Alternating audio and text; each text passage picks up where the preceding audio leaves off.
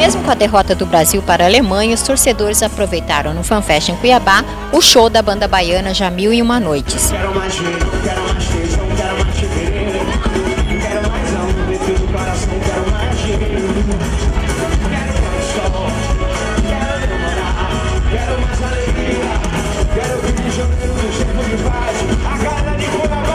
A banda de Axé Music foi uma das atrações nacionais do FanFest Cuiabá, que mais uma vez lotou.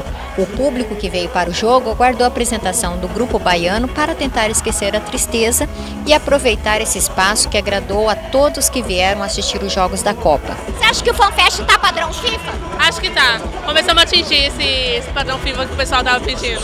Tá, padrão FIFA. Muito bom.